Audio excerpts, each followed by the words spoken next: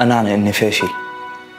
كرهني بإخواتي بجيراني بحالي.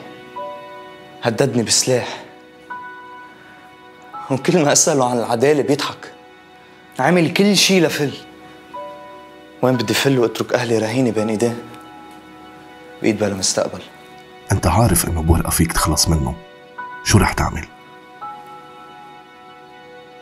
ولا شي.